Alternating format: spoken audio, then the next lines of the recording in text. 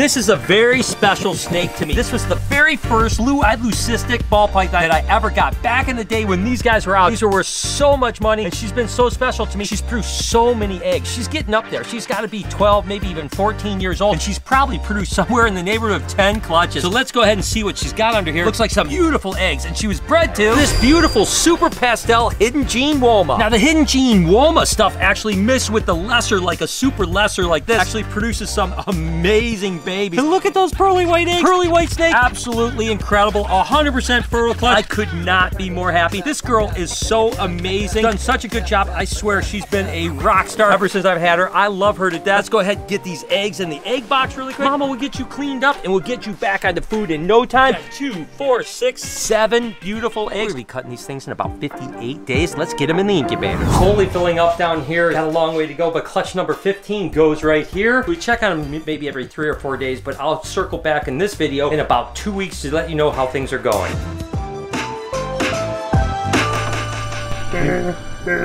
No, what are you doing? Feeding my fish. You know, we haven't gotten something for that in a long, long time. You wanna go buy some fish? Yeah, let's go get some fish. Can I get two of the fish fillet sandwiches? Mike, wrong fish, man. Can I get a large fry? Dude, that black and yellow Yeah, body. That's, a- that's what they call a trigger fish. Oh, look at that one. I think that's a little big for our hunt though, I no? think I might get a little too big, yeah. It's a good idea though. I like where your head's at. Thanks. Just the halfway point on the blue-eyed leucistic, bred to the super pastel hidden gene Woma. And guess what? We still have two, four, six, seven eggs. They're still cooking. They still look absolutely good. That's a good sign. Still have 27 more days before we get them to cut. But hey, when you get this far in, typically you don't lose eggs after that. It's usually the egg loss happens in the first 30 days, not so much in the last 27, 30 days. So far, so good. We'll check back in another 26 days. Bro, you see that? fish? You see that? Like a goby. A goby? Firefish goby. What do you think this is? Fake. Oh. Look at the little Kobe Bryant fish. You want to fry? You got sauce on your shirt. Damn it.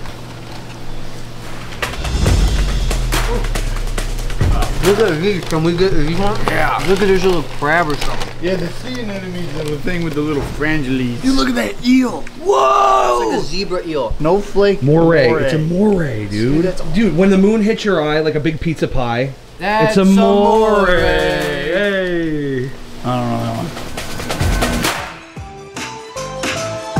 It's the night of the 56th day after the eggs were laid. All the eggs look absolutely incredible. We still have two, four, six, seven eggs. So they all made it full term. Tomorrow is the day we get to cut these guys. I just love this blue-eyed leucistic female girl. Interesting soul sucker type of stuff. So one more sleep. I'm going to be dreaming about this clutch. Wake up in the morning, go to the shop, finally get a chance to see what's inside these eggs. What do you think this one tastes like?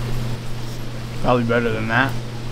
Whoa, look at that thing with the legs in the back, man. Oh my god, it's a sea star. We used to play with these in the Virgin Islands. So when are you gonna lose your Virgin Islands? you don't lose them, they're on the map. You know that one size is all the same? Huh? That's an anemone. So where's the crab? Oh, should we get a bird, Noah? Yeah. My mom loves birds. She'll love it. You just finished the fries? Yeah, you want one of them real quick? Thanks, man. I wanted like one more. Look how inquisitive this beautiful bird is. He's so pretty. What just kind of bird is it? Like his eyes, it, it, it seeps intelligence. What do you see when you look into my eyes? Yeah, so the bird is uh And it's the morning of day 57 on the blue-eyed leucistic clutch. So these eggs are coming to the shop. We're gonna go ahead and cut them, but I'm actually gonna do a bonus clutch too. There's unfortunately only two eggs left in this. It's actually a Lori ball python bred to a super Lori leopard. There was six eggs in the clutch. Four eggs went bad, which is kind of a bummer, but we're gonna go ahead and cut them because again, we could get super Lori, super Lori leopard. Who knows? We have another bigger clutch coming. I think of like 10 or 12 eggs that were Lori leopard to super Lori leopard. That's the really big clutch. I cannot wait to go. Nevertheless, we're gonna take these two clutches over to the Reptarium. Go ahead and see what's inside. Dude, turtle ram, bro. Wonder if you can get into some sick tricks, bro. Turtle deck. Explosion. So we are looking to add a few things. The Haitian pink tip snare clownfish will generally avoid. And these you would have to actually feed separate because they're non-photosynthetic. Bubble or long. Which one is he dancing around in right there? That is the bubble tip. Yeah, let's do one of the bubblers and then uh, two of the cleaner fish. And then we'll see, let's see if we get anything out. This is daddy's money. Their primary diet are usually like copepods and just small crustaceans that live in the water. And the name cleaner shrimp comes from the fact that they will pick parasites off of fish. Beyond that, they're kind of general scavengers. Well, you could just touch them? Yeah. I thought you got shocky poop. Yeah, I thought you how got doing it. stung Some by of these have a stronger sting than others. These ones really don't. Look at the clownfish is trying to bite him. Can we get one that stinks really bad? Cause that'd be fun. Wow. And we also put him or that into the the drip bucket too. The Do that as well. And that's how you get her off, Mike. Oh, I get it. like get her off the side. Dude.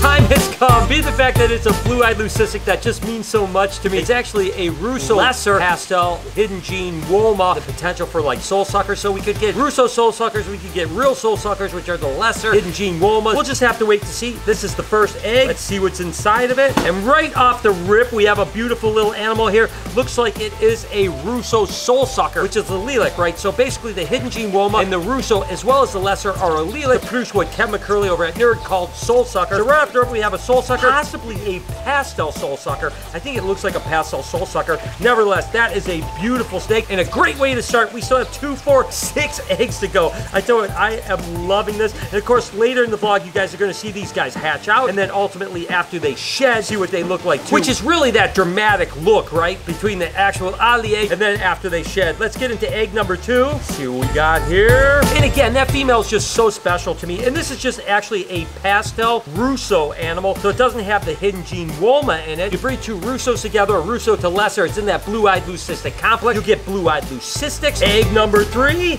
And remember, stick around because we're also gonna cut those couple eggs that are Lori to super Lori leopard. What do we have here? It looks like, again, another soul sucker of sorts. Yeah, probably a pastel Russo soul sucker right there. So we haven't got any lesser stuff yet, but it looks like we've got two Russo soul suckers. I don't know if anyone else has came up with a different name of these guys or not, because it definitely is weird to say soul sucker, but nevertheless, that's what Kevin McCurley called them, and that's what I'm calling them. So, so far we've had some pretty good odds. Let's go ahead and go on to egg number four.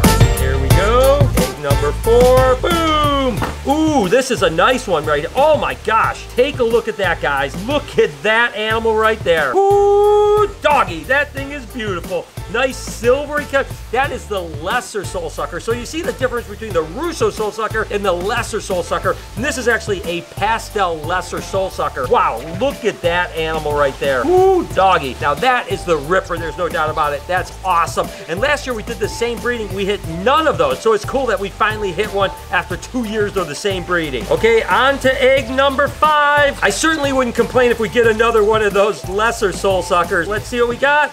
Uh-oh, guess what we got? Another one of them. All right, we've got another lesser soul sucker, a pastel lesser soul sucker on that. So we've had two pastel lesser soul suckers and what looked like two pastel Russo soul suckers. I tell you what, we're crushing it. That's cool. And we have two eggs left to go. Touch it. I'm super excited about that Lori to Super Lori Leopard. I cannot wait to see what's in those eggs. Okay, here we go. Gosh, let's just end this thing good. I tell you what, I am so happy about what we've gotten so far. So, okay, what do we got here? We'll just set this down, kind of move it around a little bit. Looks like we got another pastel Russo right there. Not the hidden gene Woma. But so far, we're doing good. Four out of six eggs have been that allelic hidden gene Woma. One egg to go. You guys know I love to end things on a good note. So let's let this last egg be an absolute ripper. And away we go. Come on, be something amazing. Yes! We did it! Another pastel lesser soul sucker. These guys are so amazing. Three of those little monkeys right there. I cannot be more happy. Like I said, these guys will crawl out of the eggs in the next day or two. You're gonna see it here in the next minute or two, and then we'll let them shed out the end of the vlog. Even though we only have two eggs, we have Lori to Super Lori Leopard. This is the first time we've ever had a Super Lori Leopard father a clutch, so let's see what's in those eggs. What? What kind of stuff do you think they're into? Bug stuff. Two cleaner shrimp. And a sea anemone. 16109. It's not my money. Look, trash can for our crabby Fish sandwich. All right, and we're back here with our cleaner shrimp, two of them, and then a little bit of a All right, we gotta do the little dripper drip. Just like that. Oh, here it comes already. Your dad's over here sucking on it and stuff. There it is. I don't know what you're doing. Keep doing that. Keep going. Trying to get the air Keep out. going. So this is going. Do you mind watching this for a couple minutes or for 30 minutes? I got a, uh, I got a business call coming in. I'll be right back. Business call.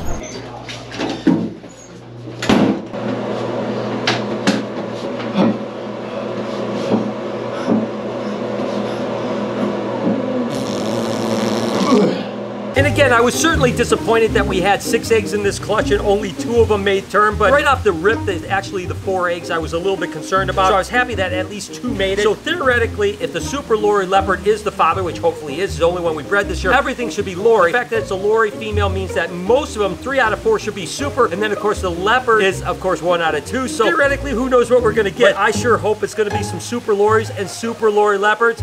I'm nervous, guys. These are the first ones of the year. Let's see what we get. All right, here we go. All right, off the rip. What do we have? Whoa, whoa, whoa. Okay, oh, it's rolled over. It's rolled over. I can't see what it is. Hang on. I'm going to see what we got going on here. Try to roll this thing over. Oh, you wouldn't believe this, guys. It's just a Lori ball python. So no super Lori, no super Lori leopard, no leopard, no Lori leopard, just a Lori ball python. So that's bad odds right there. But we got one more egg. Let's hope this is a super Lori leopard.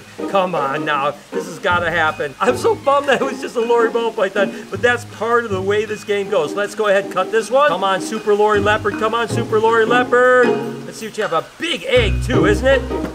Okay, well, we definitely, ah, you gotta be kidding me right now. We had two Lori ball pythons, not even super Loris. Unbelievable. No Lori leopards, no super Loris, no super Lori leopards. We got two normal Lori ball pythons. That's absolutely crushing when it comes to the odds, but that's the way it goes. We'll still show you when these guys hatch out here in just a couple days. Till then, uh, we'll fast forward a couple days. Where's Noah? I specifically asked him to stay here and watch him while I took my business call. Where's he at? Jeez. Life's hard as a businessman. Courtesy flush.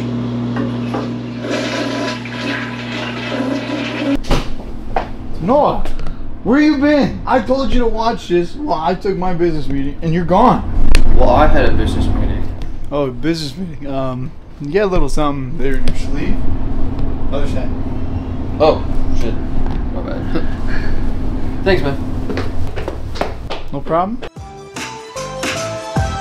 So all the babies finally hatched out. I always love when this female has eggs. That's so special to me, right? So look at all these amazing animals. These are just literally het Russos, or what they call Russos. Breed these two together, you get blue-eyed leucistics, of course. And these two here are pastel hidden gene Woma het Russo. Basically what they would call a Russo soul sucker. And then of course these monkeys here. This is actually just what they would call a normal soul sucker, which is a lesser and a hidden gene Woma. They're allele make this beautiful kind of purplish, kind of grayish animal. And then these two here actually have pastel in them too. You can see they're just a little bit more faded when you put them together. This one has one shade darker right here, and these guys have the pastel in it. Absolutely wonderful. So we're gonna go ahead and get these guys set up. They'll shed out here the next, you know, four, five, six days, and we'll show them to you as soon as they're shed out. We're gonna move the fishies into the tanky. Mike, you. Why'd you do that? You are the idiot. It's gravity fed, and you put the end up and go. You watch it- this. You put it down. No, you put it up. Come on, out the net, out the net. Uh oh. Did they chase him? They, but they left. Clownfish are not clowning around. Oh, fuck. Not. You're not gonna get stuck. Stop moving the thing. Look at it. It's waving around like a freaking napkin. That's what sea anemones do. We have to peel it off the bottom of the bucket, just like a very fine sticker. And if you rip it, You kill it. don't do that. I can't even get my grubby little fingers underneath that seal. Mike, smell my finger. What did you stick it in? That's for me to know and you to find out. Here she comes. Here she comes. Oh, is she coming? She's coming. She's coming. She's coming? I'm gonna come. Oh, oh my god. Dr- don't gentle. It's not floating away, so it must have grabbed down, right? Alright, Dad, what do you think? You see our anemone? It looks kind of weird. It looks like it's upside down. Yeah, it is. Do you think it'll flip right upside up, or is it just gonna die? It wasn't exactly like that when I put it in there. And then there's two other cleaner shrimp in there now. One's in the back. Oh, yeah, I see it. It's cute. That's awesome. Yeah. How much does this cost me? Uh, seven hundred and twenty dollars. And of course, they all shed out, and there's some absolutely beautiful animals there. This is actually what they call a pastel Russo soul sucker. So the allelic between the hidden gene Woma and the Russo, and then pastel added to it. And here's another one of the exact same genetics, but each animal looks a little bit different, which makes it cool. It's just called polymorphism. Absolutely incredible. This one's really beautiful. It doesn't have as cool a genetics behind it. It's just a pastel and a het Russo, or what they call a Russo, which of course, if you bred with another Russo, would produce white snakes. Then this is the first full-on soul sucker. Because the blue-eyed leucistic girl that I love so much is actually a lesser and a het Russo that produces the blue-eyed leucistic. Some of these animals are lessers, and when you get lessers and the hidden gene Woma, you get what they call soul suckers, which I absolutely love. And then this is the exact same animal, but just adding pastel. So this is a pastel soul sucker. And we actually produced two of these ones. Absolutely incredible. And I love showing you guys the difference between when they first hatch out and when they actually shed out, because that's when their true beauty absolutely comes out. Speaking of out, hope you guys enjoyed today's video. If you did, there's a playlist that you can watch all kinds of videos. You can also hit that subscription button. It would mean a lot to me. Also, hit that like button while you're down there. Have a wonderful day, Reptile Army. Remember, What is this, man? Sorry. You can't do that. I was walking.